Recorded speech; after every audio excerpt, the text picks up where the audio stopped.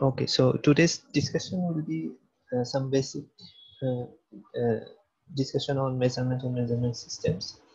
Now, the most of the things that will be discussed, you have somehow, you already know it somehow, or you have uh, encountered this uh, while doing different experiments or something. However, in some, with respect to some formal terms, we, we will discuss some basics of measurement and measurement systems. So starting with what is measurement. So you can say that okay, measurement is uh, the comparison between two quantities. One is unknown and one is somehow a predefined standard quantity. So uh, you know that there are different unit systems available. So whenever you're measuring something, you have to measure it with respect to that unit system. For example, uh, for weight, you know what is one kilograms or distance you know what is one kilometers. So with respect to those standards you actually compare the thing that you have measured. And another thing uh, another way of saying it is to be converting any physical parameter that you want to measure into some numerical values. And those numerical values will uh, only be meaningful when you associate some unit uh, with that numerical quantity because the unit will actually uh, uh, represent its characteristics of property. So, uh, like uh, I said to your other section as well. So, as an example, suppose your CRP mentioned me that I have to take your class from 8.30 to suppose 9. So when he mentioned this, I thought that, okay, it is in the morning. But later on, he, he uh, suggested me that, okay, actually I meant it to be PM, not AM. So initially he didn't write anything, whether it is AM or PM. So that is why the unit is important because only a numerical quantity doesn't uh, give you any characteristics or property of the quantity that you are representing. Now, in order to get meaningful results from a measurement, like the uh, standard has to be accurately defined and a common standard has to be followed throughout the entire world to eliminate any confusion. Otherwise, in, in different parts, different standard unit systems are followed. Then it, uh, each time a consumer or manufacturer has to do some uh, conversion or has to go through some conversion process, which is really cumbersome. So mostly throughout the entire world, a common standardization is followed. However, still in some parts, some, some common uh, uh some common measurement uh, terms are used in some parts, but in general, a common standard is followed.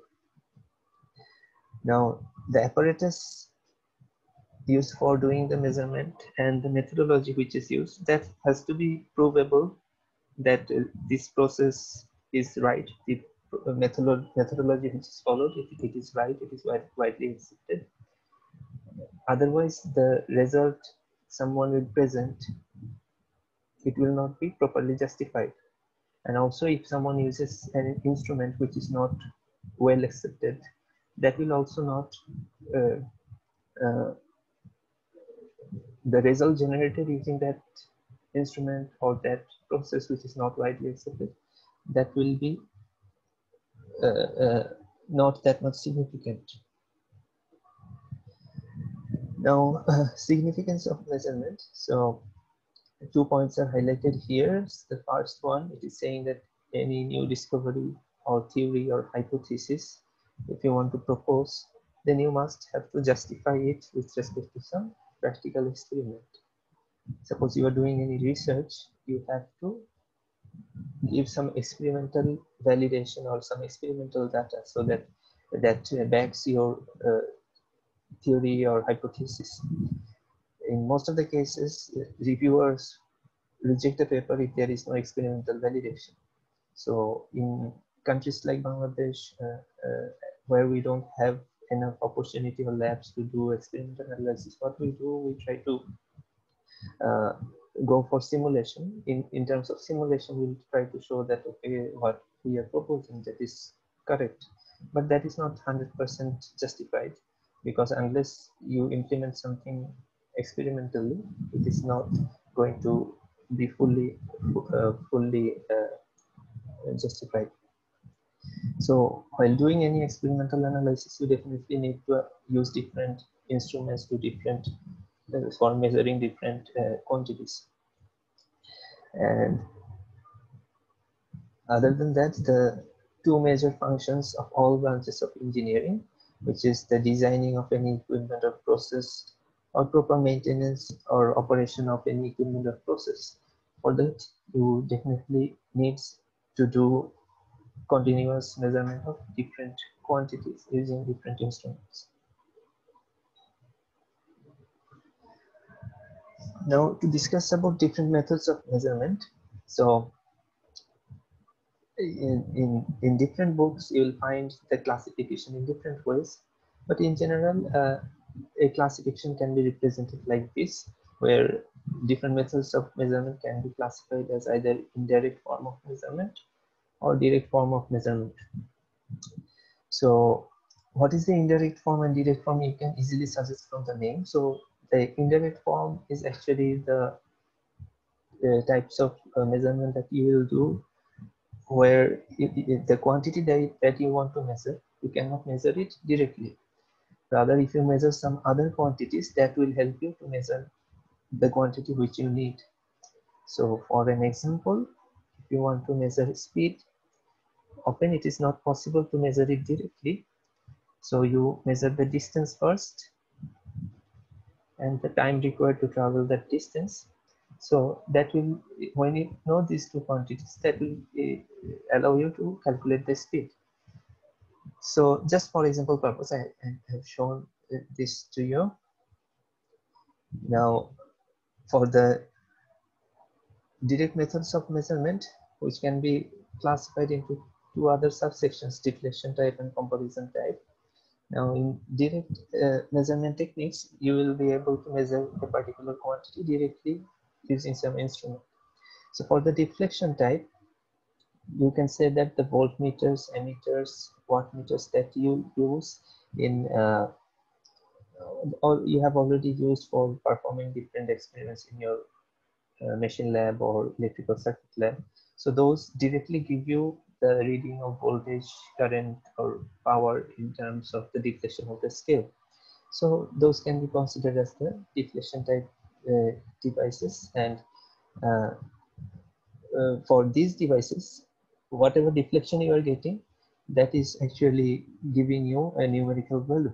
But uh, for some deflection type devices, you might not uh, get uh, a numerical value as your output. However, you might want to determine whether you have obtained a balanced condition or not, such as a galvanometer. So in galvanometer, what we try to do, we want to get the null deflection. So when we obtain the null deflection, we can say that we have obtained the balance condition in the circuit. So these deflection type devices can can be classified into two types. You can say one is direct deflection and another is null deflection. And the comparison type, this type of uh, this type of type of techniques, the unknown quantity is determined by comparing with some standard value of, of a given quantity. Uh, so for example, if you have an object or suppose a string we want to measure the length of this string. So we often measure it using a ruler or a scale. Suppose the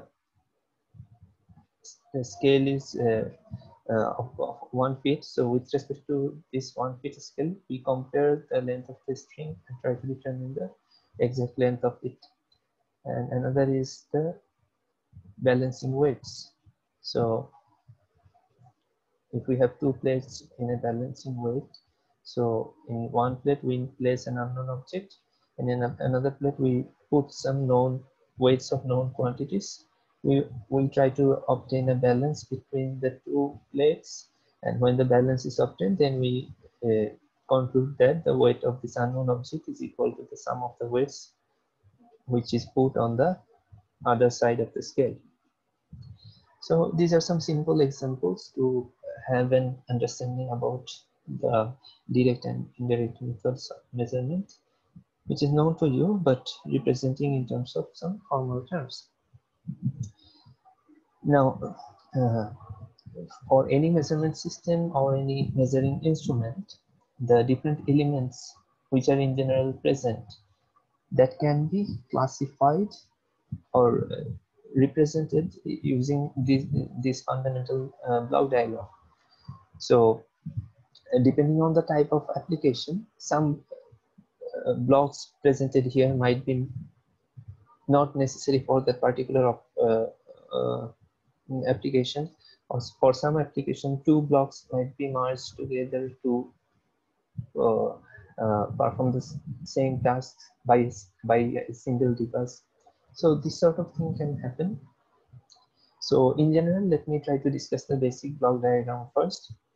So normally uh, what our intention is to measure often our intention is to measure some physical quantity such as uh, temperature pressure or intensity of light. So these are physical quantities.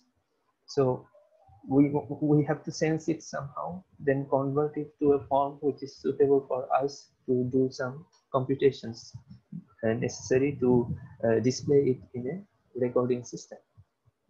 So the first block is the physical system. So from the physical system the physical parameter has to be sensed by some primary sensing element.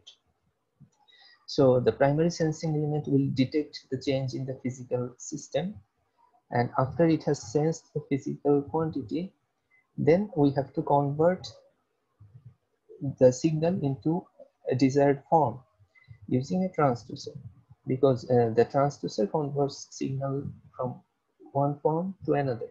So if we talk about electrical instruments so the purpose of using the transducer would be to convert any form of energy that is uh, uh, at its input side to an equivalent electrical signal, which can be in terms of voltage, current, or uh, change in resistance, inductance, uh, inductance or capacitance, any circuit quantity. And that electrical signal might be further processed in the subsequent blocks. So after the transducer has uh, uh, uh provided a converted signal, so uh, often it is necessary to pass it through some signal conditioning uh, system. Because the signal that the transducer is providing is it, it might be having a very low amplitude. So it might be necessary to amplify it.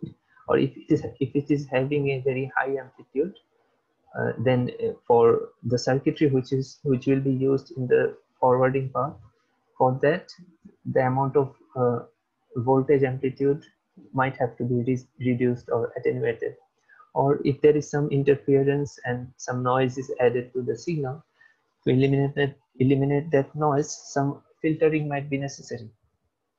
So those sort of signal modifications will be done in the signal conditioner. And after that, the signal conditioner will pass the signal to variable conversion element. So if there is necessary to convert the variable type, then for some systems, some variable conversion element will be there. For example, up to this stage, if the we are up to this stage, if we are having the change in signal in terms of a voltage, but in the rest of the portion we need some other form of signal, then that will be uh, suppose the change in voltage you want to change it here as change of frequency. So some sort of variable conversion element will be necessary to uh, uh, to do this conversion. Now, oftentimes it might happen that after up to the signal conditioner, our signal is in analog form. but in the later portions we want to use some digital uh, uh, digital devices or we want to store the data in a computer so it, it will be necessary to convert our data to and from analog to digital form. So that conversion from analog to digital form can be done using some AD converters. So that that will be the task of the variable conversion element. So after that is done now this manipulation block, its function is actually uh, similar to the signal conditioner block, which was discussed earlier. So after the conversion of the variable type, if it is necessary to um, modify the signal further, so that will be done in, in, in this stage. And while any amplification, filtering, or uh, modulation, anything is done to the signal, it has to be kept in mind that the original information doesn't get lost in the process. So both while using any signal conditioner or any manipulation, any block for man, any element for data manipulation, that thing has to be considered that the original information should not be hampered. So after manipulation, the modified signal will then be passed through a data transmission system towards data pre presentation elements. So this is basically an indicator or a recorder where the data will be stored. So for deflection type devices, the indicator can be considered to be the pointer moving system. For uh, digital devices, it can be considered to be the digital display or the data can be also stored in, in, in a computer system. And for the data transmission, uh, it is actually often integrated within a particular instrument and sometimes it is uh, depending on the type of application. It, if you want to remotely observe or monitor some process you have to somehow receive the data wirelessly. And again after receiving the data you might have to uh, uh, send some actuating signals or control controlling signals to that uh, remote location so the data transmission, it can be either wired or wireless, or it can be somehow integrated within the within a single instrument. So these are the fundamental uh, blocks or elements which normally are present in uh, different uh, uh, uh different uh, instruments or measurement systems. Now, to have an analogy, of this block diagram, let us move on to the next slide and observe a example.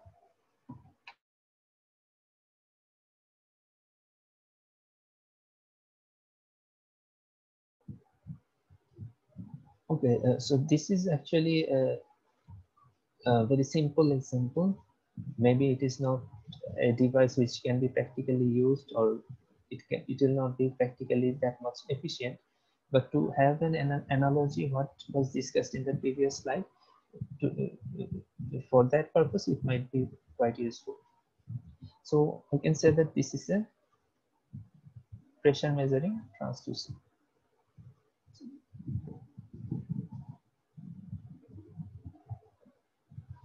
So uh, I can say that uh, this is a mechanical instrument which will allow us to measure pressure measure pressure of the fluid that is being passed through this chamber, through this inlet.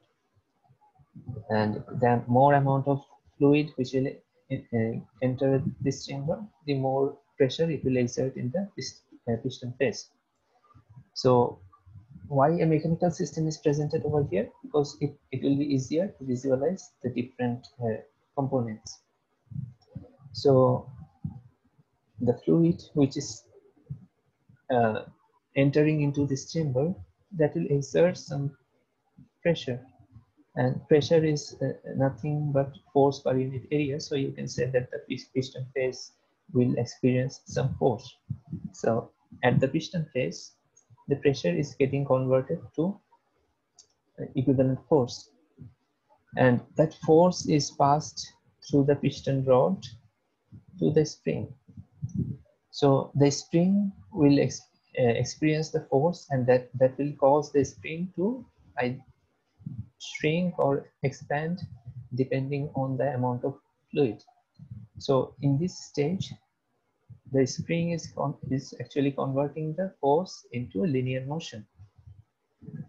And if you look at the diagram, you can see that with the piston rod, a pointer is attached with which can easily move around this pivot, which is attached with the boundary of this uh, uh, uh, container. So when the piston is moving up or down, according to that, the pointer will also move either in the clockwise direction or in the anti-clockwise direction. So when the piston is moving upwards, it causes the pointer to move in clockwise direction. And when the piston is moving downwards, the spring will expand and it will uh, cause the pointer to move in the anti-clockwise direction. And if the pointer movement is attached with a scale, which is calibrated to measure pressure, so using taking reading from this scale, we can have some approximation about how much pressure is being generated by the fluid which is entering inside the chamber. So a very simple system. Now in the next slide, the whole process can be shown in terms of this block diagram. So like I was saying, so at this stage, the fluid is exerting some pressure on the piston face. So the piston face is experiencing some force and the, that force is actually transmitted through the piston rod towards the spring. So the piston rod is actually also exerting some force on the spring. The spring is converting that force into uh, linear motion. And then finally, that motion is transferred to the movement of the pointer. And from the scale, the observer can take the necessary reading. Now, uh, uh, comparing to the previous block diagram which was shown, you can suggest here which which block indicates uh, or replace which block presented over this basic block diagram. So considering this basic block diagram, what what what can you call this one?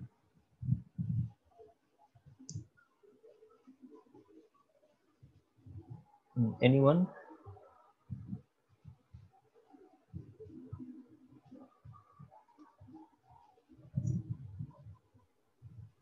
Uh, did you get my question? Sir, can you repeat the question, sir, please, again? So I was saying that in this block diagram, I have shown you what, what, what are the different types of elements that might be present in a measurement system. So if you compare this block diagram with this one, then the fluid is representing which block of the base fundamental block diagram? Primary sensing element the first, second one? Fluid is not actually the primary sensing element because uh, it is not sensing something. It is rather the physical system, right? So you can say that it is the physical system. It is not sensing anything. It is suppose uh, the uh, it, you can consider it to be the physical system whose pressure you want to measure so some other device you have to use to sense the pressure uh, that is uh, being uh, generated by the flow of fluid inside the chamber. So it is actually the physical system. So the second block now tell me about this one.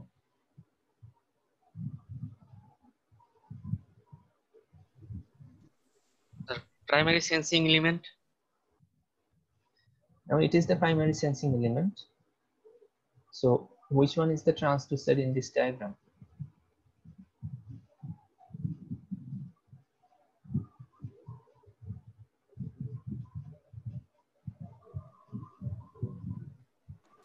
Uh, maybe maybe the observer.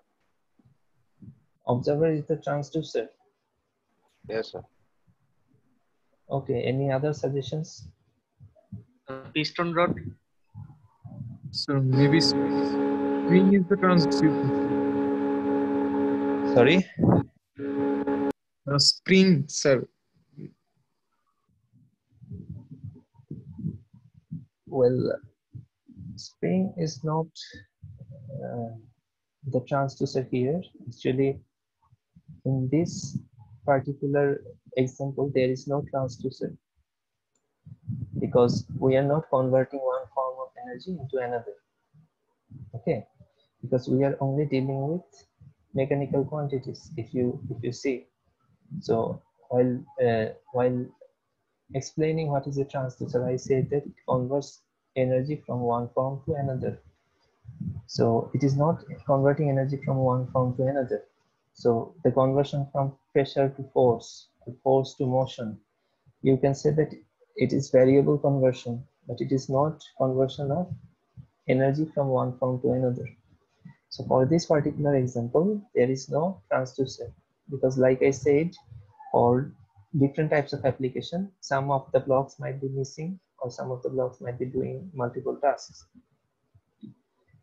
Okay, so uh, moving on, uh, what is the piston rod then? So signal conditioner. Not a signal conditioner, because what is the property of the signal conditioner? It will modify the signal in some way.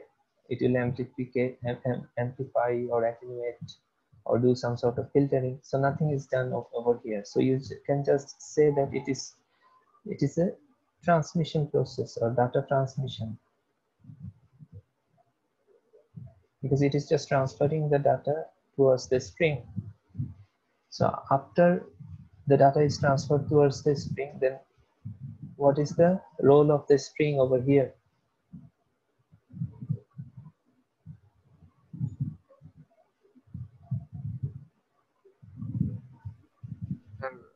to move the pointer.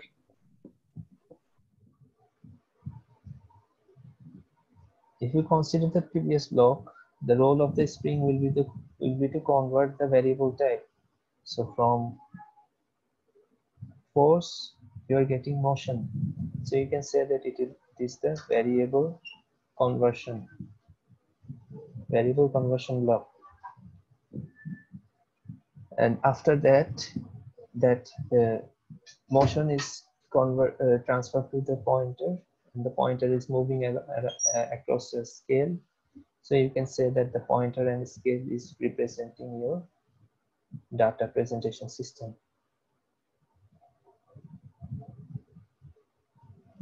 So from the data presentation system, the observer can uh, observe the change in the quantity.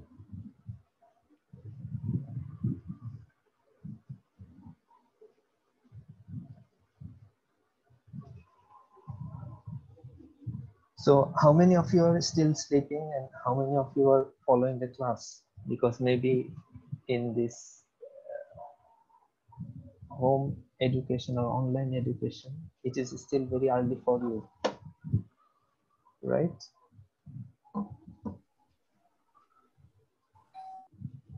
No, sir.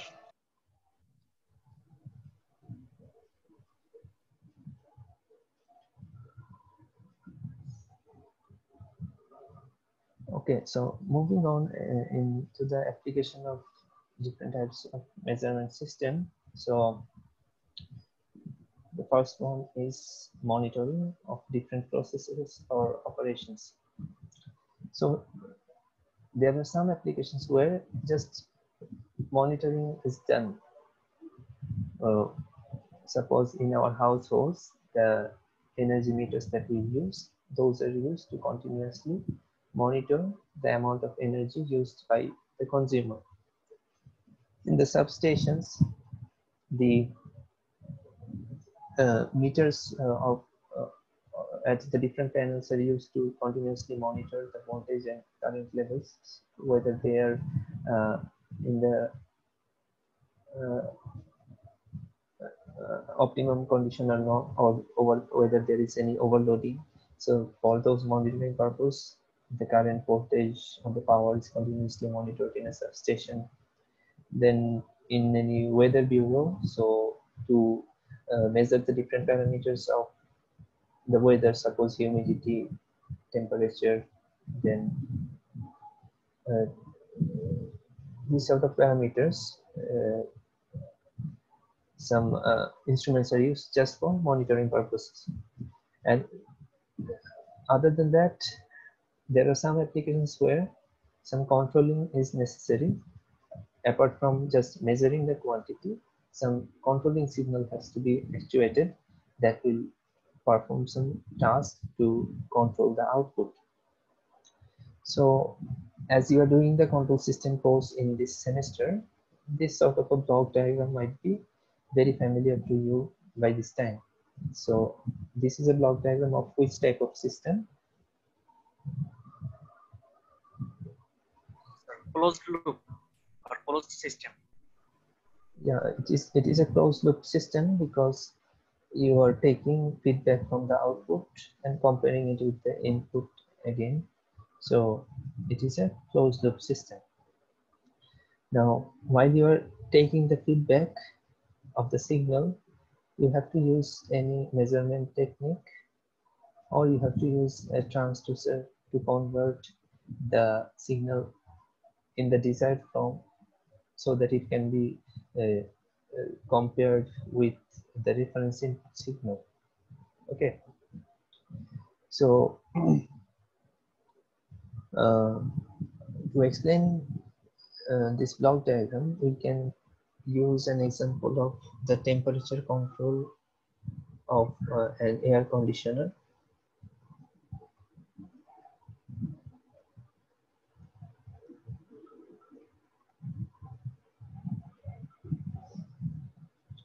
So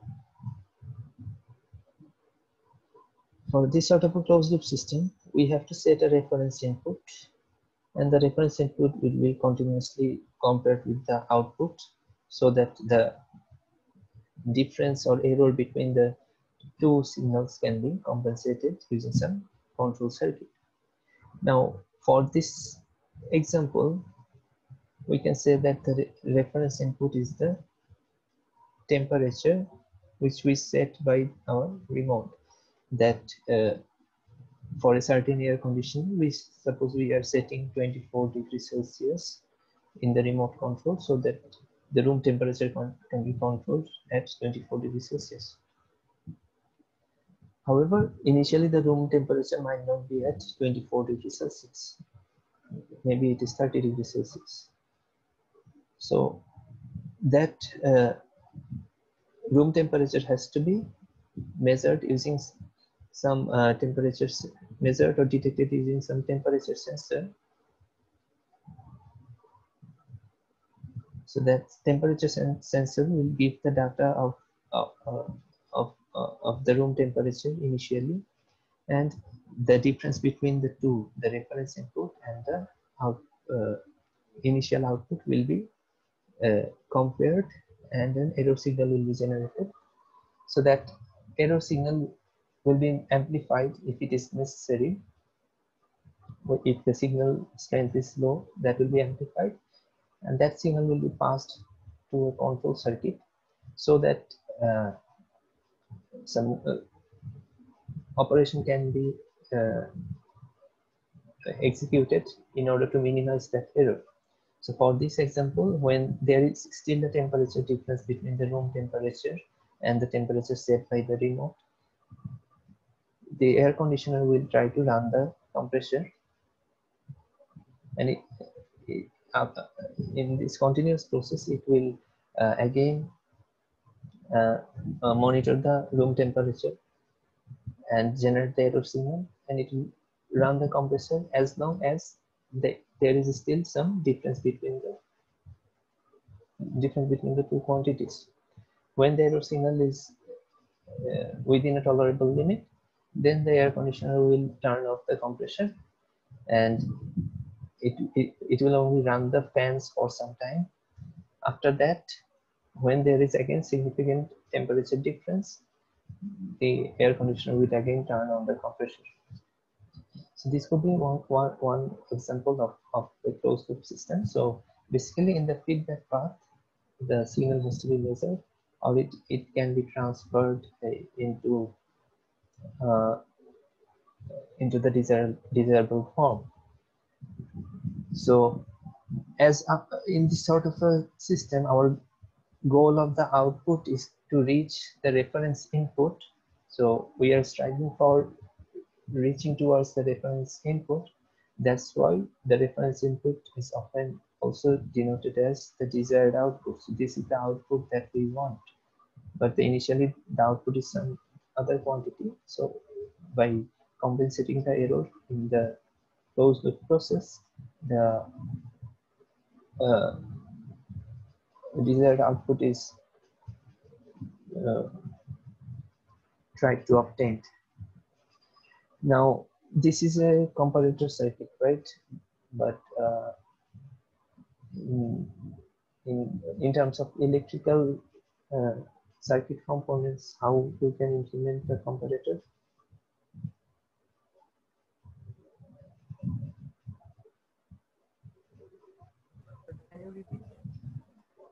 So in terms of block diagram, we are saying that uh, here we are comparing the two signals, the difference between the two signals.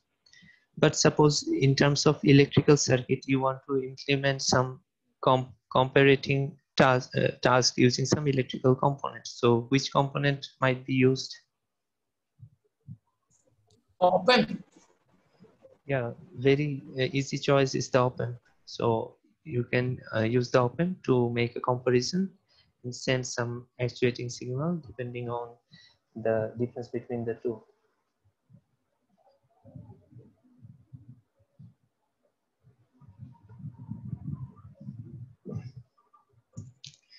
Now further, another type of application can be considered to be experimental engineering analysis where uh, testing the validity of any theoretical prediction or that some experimental measurement has to be done then for determination of some system parameters or variables or performance indices it has to be done suppose a new uh, device has been manufactured so the manufacturer has to specify its uh, operating limits or uh, its uh, uh, uh, optimum of uh, operating voltage or operating current. So to justify these things, some experimental measurements has to be done or even for providing the nameplate data, some measurement has to be done.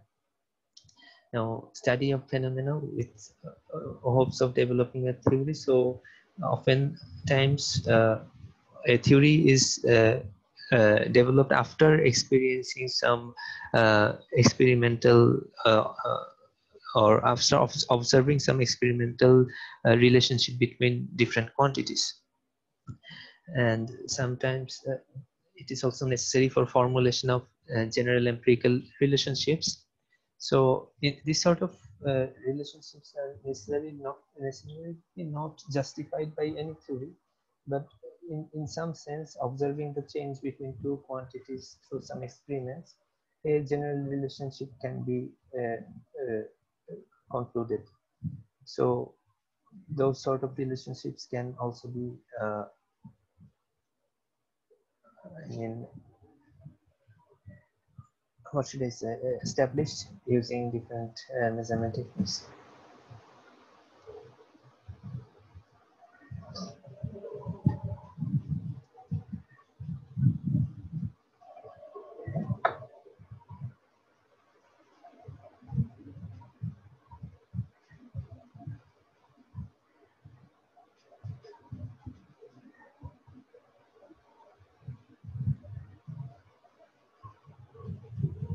Okay, so there there were supposed to be some BSCT students along with section B. Have they joined in this class?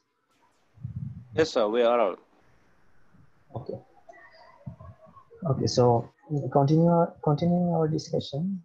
Uh, so different types of error that normally happen in measurements.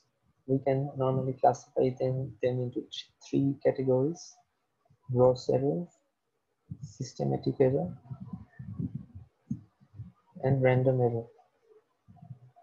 So you all have encountered this sort of error while doing different uh, uh, lab sessions uh, in, in, in, your different undergraduate courses. So just some formal uh, some formal names for different types of errors. So what are the gross error? Those errors are the uh, uh, errors caused by the careless, carelessness of the user or the observer who is actually using a particular instrument. So uh, some, some of the commonly made errors could be taking misreading of a particular value from an instrument. Suppose uh, in the instrument you are getting a reading of 28.25.8 amperes and you are uh, writing it to be 28.5 amperes. Just a, just a, a mistake which is silly mistake actually.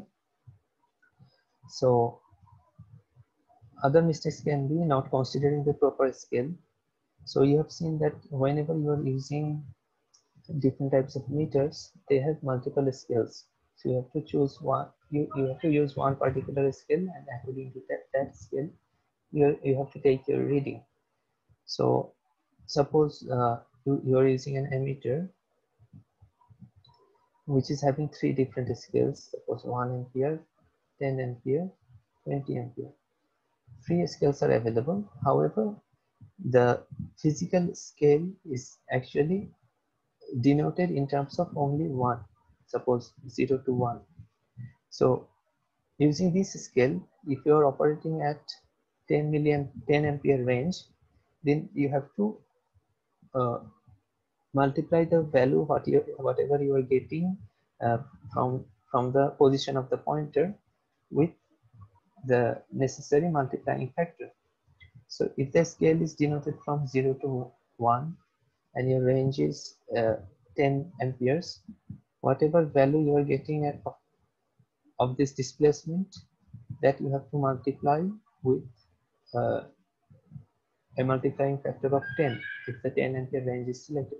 Suppose if you are getting here 0.3, then in the 10 milliampere, 10 ampere range, your value will represent 3 amperes. So oftentimes we make this mistake. We don't consider the range which is set at, at, at, at the instrument. Now recording the data incorrectly, it is actually, you have made a data chart. So suppose you are going to measure current and voltage. So you are recording the current values in this column and the voltage values in this column. So this sort of uh, mistakes while recording the data in the table that, that can be also classified as the gross error. And this can be easily minimized by being careful while doing the experiments and to further validate the results, whether the data taken are correct or not. The most suitable approach is to put the data in appropriate equations to justify the relation, whether the relation between the different quantities are uh, consistent with the theory or not. And taking multiple re readings often helps us because if you are taking multiple readings, one uh, there is anomaly in only one of, one of the reading, then you can say that maybe some mistake was there while recording that particular data. Now, systematic error, systematic error can be again classified into three subclasses, which is instrumental error, environmental error, and uh, observational error. So the instrumental error is due to any shortcomings or defects in the instrument or uh, any uh, wear and tears in the instrument for using the instrument for a long duration. So most many instruments are electromechanical type. So if you're using those devices for a long duration due to friction or some other mechanical losses, there will be often uh, uh, often some degradation of the instrument, which will reduce its efficiency. So those in instruments will tend to generate some erroneous results. And also the misuse of instruments because whenever you are using any instrument, the manufacturer actually provides you some guidelines how to use that instrument or how to give the connection between the different points. For example, using the wattmeter, you have an indication how to connect the potential coil and the current coil. So if you don't connect those two coils as per the instruction provided by the manufacturer, you're not going to get the intended result.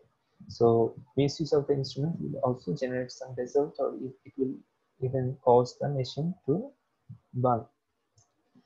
And loading loading effect, it is actually uh, uh, caused by the internal resistance of a particular instrument or a particular meter.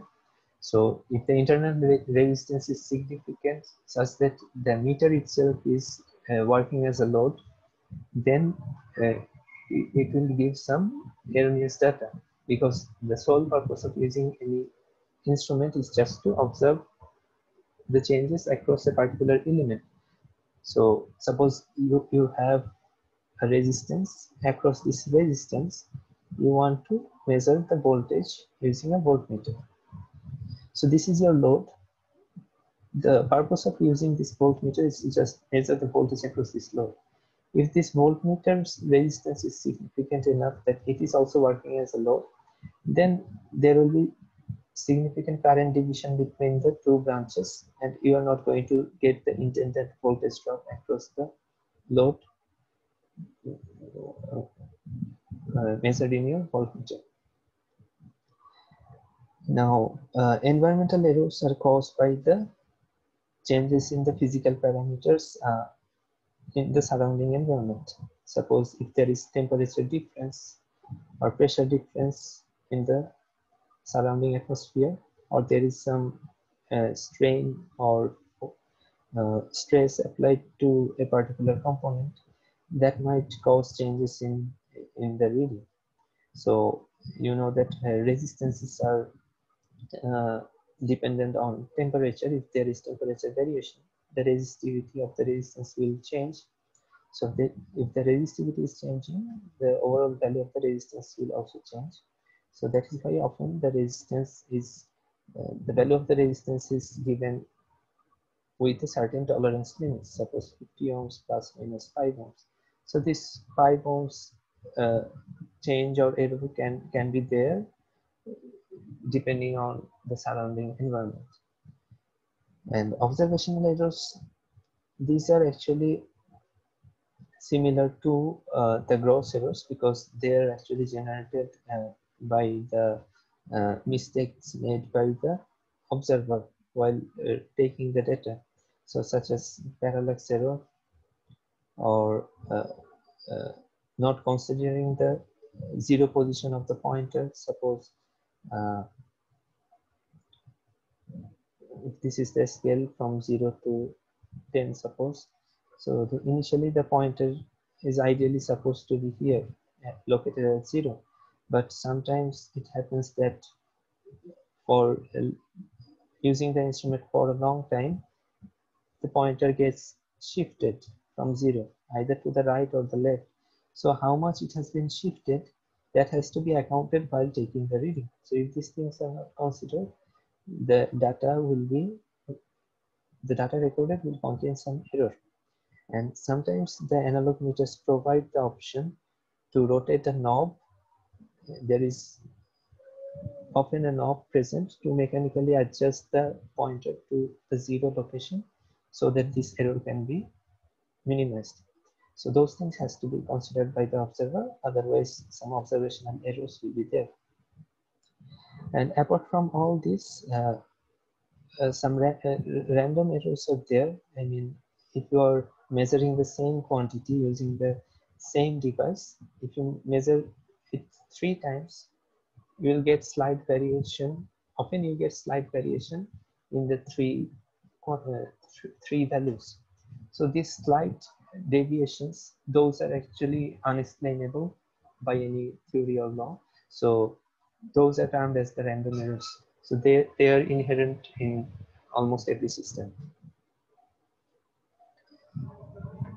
Now, how errors are represented.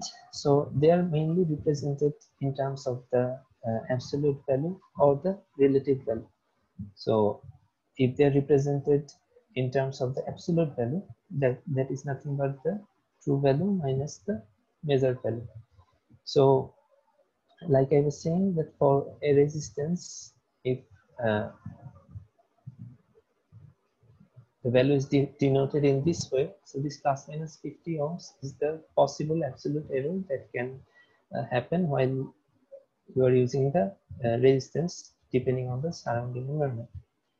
And the same thing you can represent in terms of relative error, which is nothing but the ratio of the absolute error to the true value. So the relative error is mostly represented as percentage. So the same thing can be represented as in terms of relative error, mm. which is in this case 10%. And finally, uh, for some cases, the errors are also uh, specified in terms of this uh, term, which is parts per million or ppm. So this term is mostly used for, I mean, when someone is dealing with very large quantities. So, uh, for example, suppose uh, suppose uh, let me consider a temperature coefficient of resistance to be 100 ppm per degree Celsius. So if the temperature coefficient of resistance is 100 ppm per degree Celsius, and we have a resistance which equals 1 mega ohms. So what is the possible change in this resistance due, due to per degree Celsius change in temperature?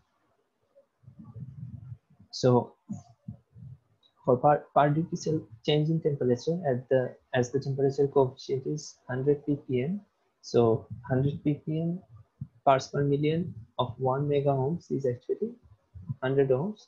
So for each 1 degree Celsius change in temperature, the value of the resistance is supposed to be deviating plus minus 100 degree depending on the increase or decrease of the temperature.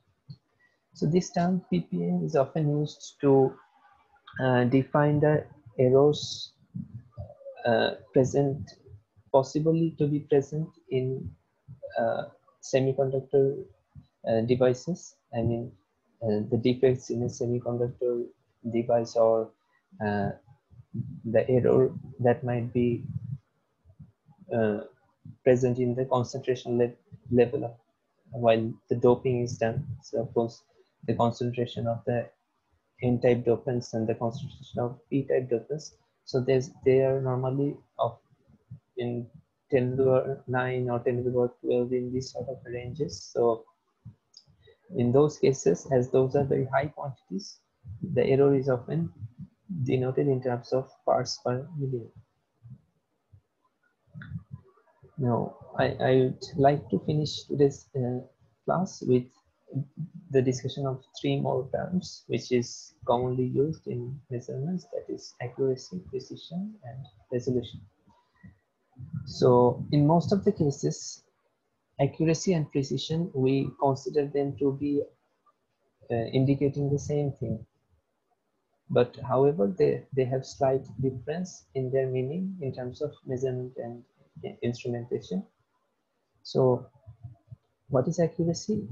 It actually indicates the closeness between the measured value to the actual value. So how, how close your measured value is to the theoretical value or the actual value you intend to obtain. So that is the accuracy. But precision is actually the closeness among a series of measurements of the same quantity. So if you are measuring the same quantity multiple times, uh, whether the instrument is able to generate the same uh, result each time or not, that is actually indicated by the precision.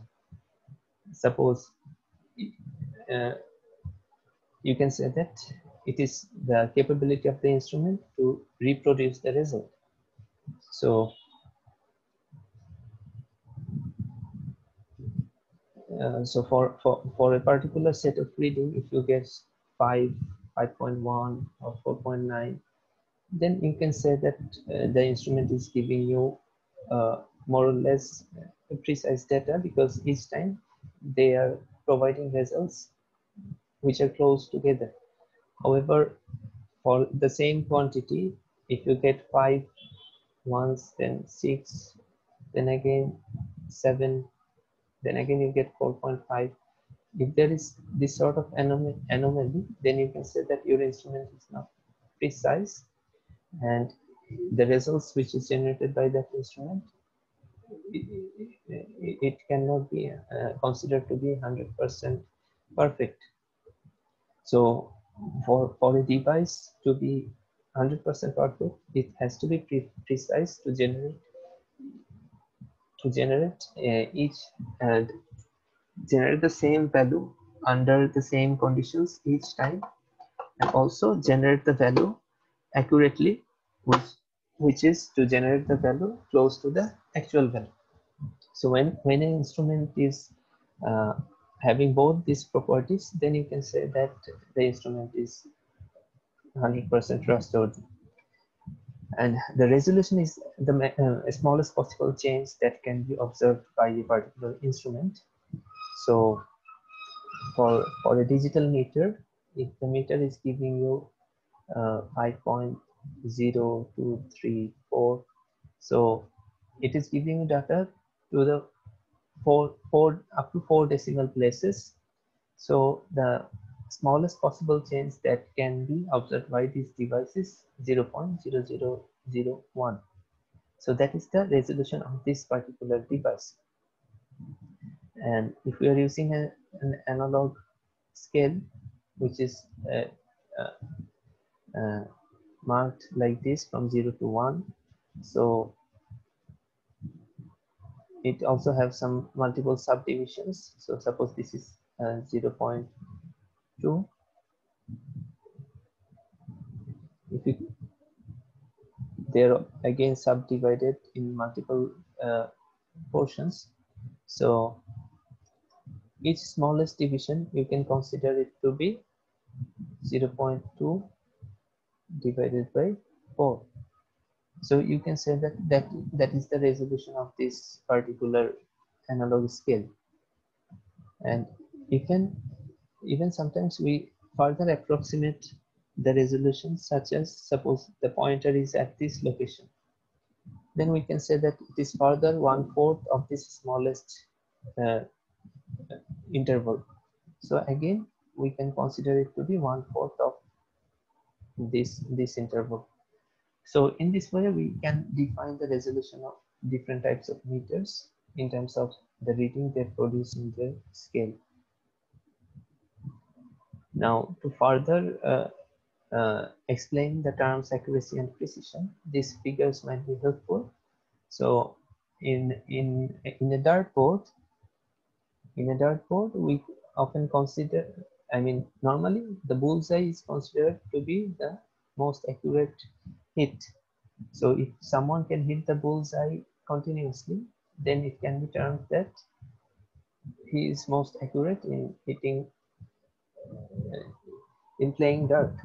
So the first case here, it shows that all the points are randomly scattered around the entire board. So it cannot be said that the individual hits are accurate and also as they are scattered around they are not clustered together it, it can be said that they these are not accurate precise as well so this first figure is not accurate and not precise the second one you can see that all the dots are close together.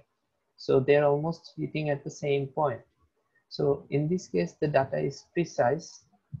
However you can see from the accurate position there there is still significant deviation.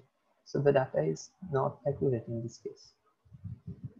This one here compared to the other two figures the data are close towards the center so they are compared uh, compared to the previous two figures, they're more accurate.